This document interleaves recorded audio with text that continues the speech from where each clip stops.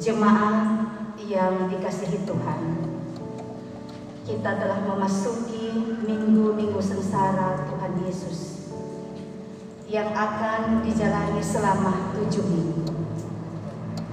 Hari ini kita memasuki minggu sengsara yang pertama.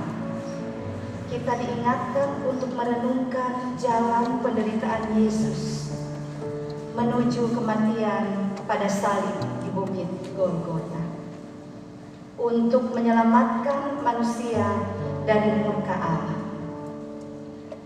Yesus menjalani penderitaan yang dimulai pada saat ia makan perjamuan Paskah bersama para muridnya.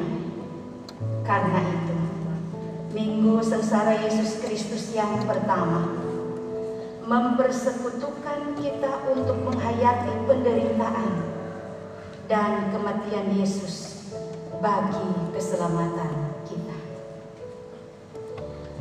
Mari kita siapkan hati dan hidup kita untuk beribadah kepada Allah.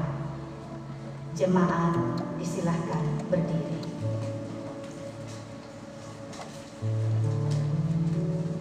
Kita menyanyi memuji Tuhan dari nyanyian rohani. 55 ayat 1 dan 4.